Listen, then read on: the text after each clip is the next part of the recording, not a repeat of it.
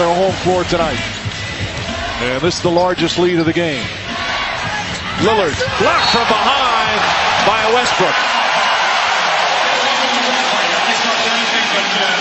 The two of them jawing at each other.